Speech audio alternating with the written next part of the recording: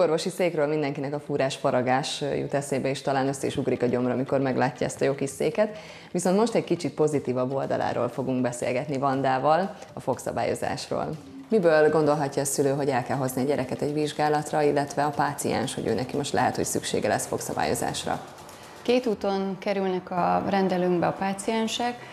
Az egyik az iskolai fogászati szűrések során, illetve az óvodai szűrések során.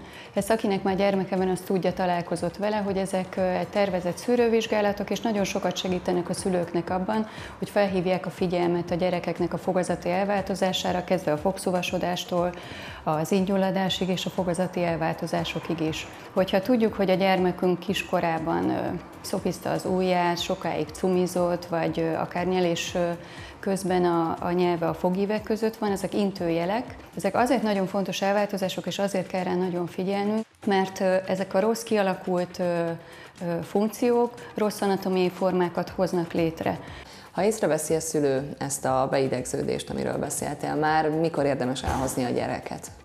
Azt mondhatjuk, hogy már az oviskor végén, illetve a kisiskolás korban, tehát tulajdonképpen 7-8 éves korban, mert egy korai kezelés ezeket a rossz mozgásformákat ki tudja javítani. Ilyenkor nem csak a fogszabályozó szakorvos dolgozik a gyerekekkel, hanem a logopédus segítségét is kérjük, és megpróbáljuk ezeket a rossz beidegződéseket kijavítani. Mennyit változott a fogszabályozás itt az évek alatt? Mert ugye régebben még volt ez a fejre rögzíthető, tudom ez már nagyon régen volt, talán voltak a kivehető fogszabályzók, most már rögzített, hogyan változtak ezek az évek során? A fogszabályozás megítélése is nagyon sokat változott az elmúlt évtizedekben.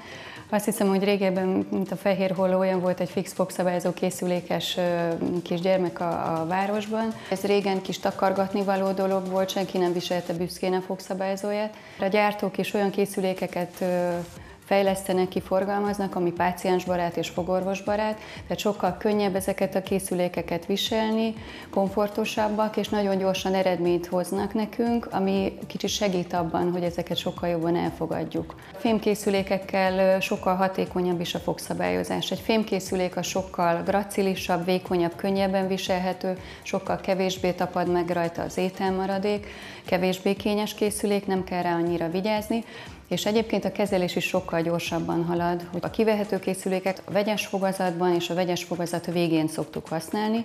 A vegyes fogazatnak nevezzük azt az időszakot, amikor a gyerekek szájában még tejfogak is, meg maradó fogak is vannak. Azt hiszem a köztudatban egyébként a fogszabályzó, az a rögzített fogszabályzó, ugye minden egyes fogakra kis tapancsokat helyezünk, és ezzel indítjuk el a fogmozgatást, ami egyébként képes arra, hogy fogíveket és egyébként a fogívek egymáshoz adaptálását is sikeresen végrehajtsa. Beszélgettünk itt az egészségügyi oldaláról, hogy gyerekkorban elkezdődik ez a folyamat, de mi van akkor, hogyha a gyerekkorban ez nem kezdődött el, és a felnőtt korban jön rá az egyén, hogy ő neki valami nem tetszik a, a fogazatában, azt akkor is helyre lehet hozni? Tehát ezeket a készülékeket felnőtteknél is nagyon gyakorian és sikerrel alkalmazunk. Az azért ezt mégis tudni kell, hogy, hogy a felnőtteknél elkezdett kezelések egy picit mindig lassabbak, időigényesebbek, a felnőtt szövegtek már kevésbé adaptívak, és ugyanahoz a fogmozgatáshoz egy kicsivel több idő kell, mint gyermekeknél. Ha valaki fogszabályozásra adja a fejét, vagy szükségeltetik neki, akkor hol kezdődik a folyamat, mik az első lépések?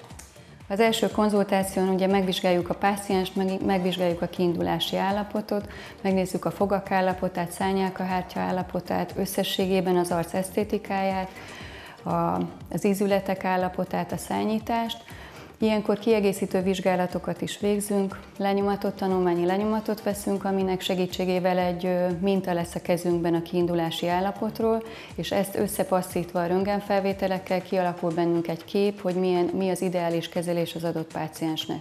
Röntgenfelvételek esetén két felvételt készítünk, az egyik egy panoráma felvétel, amin látszanak a meglévő fogaink, a fogcsíráink. Ilyenkor már a kiinduló állapotnál figyelnünk kell a bölcsességfogakra, ezek később 16-18 éves korban előbújó fogak, de a fogszabályozás menetére nagy hatással lehetnek. Ilyenkor a kezelés ugye évekig tart, ezen idő alatt havonta, másfél havonta, de akár két havonta is kontrollokat kell beiktatnunk, tehát a lépései mindig segítenek, mindig egy-egy kis siker vezet ahhoz, hogy könnyebben elviseljük a nehézségeit is. Fontos nyilván az orvos megadja hozzá a szaktudását, de ez mindenképpen egy együttműködés a, a páciens és a, az orvos között, fegyelmet és türelmet igényel mindegyik oldalról.